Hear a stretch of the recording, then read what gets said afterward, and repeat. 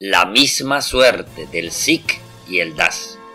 Si de verdad el gobierno aparentemente reformista de Petro y Velázquez quiere solucionar el problema que representan el IMPEC y la policía para la seguridad ciudadana y el tranquilo desarrollo del nuevo país, deben hacerles correr la misma suerte que tuvieron en su momento el SIC y el DAS, liquidarlos y montar una Gendarmería Nacional netamente civil y una Guardia Carcelaria especializada y moderna.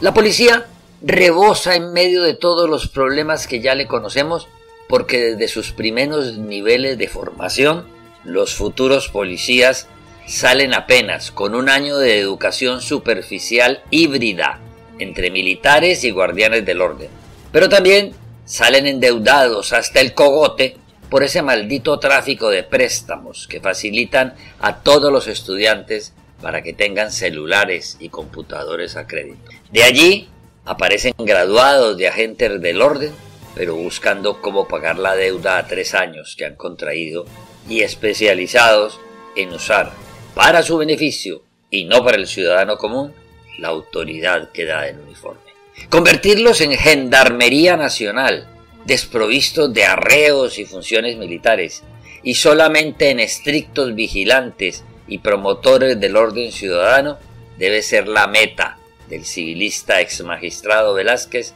y del ex guerrillero Petro. Con cambiar 30 generales de un tacazo y poner al frente de la policía a un respetable rezandero que llena de los santos de su devoción las oficinas donde ha ejercido cargos y que además ya predicó por la radio interna de la institución que ningún policía puede tener relaciones extramatrimoniales estables, no se va a arreglar el problema. En el IMPEC el asunto es más fácil, porque es más protuberante, pero tiene el mismo vicio iniciado. Los dragoneantes del IMPEC son o ex policías o ex soldados o ex guardias de seguridad privada que hacen tres meses de formación y usan descaradamente el uniforme para volverlo rentable, como se deduce, por ejemplo, del informe filtrado de la Procuraduría por la revista Semana sobre la miserable carnicería de la cárcel de Tuluá.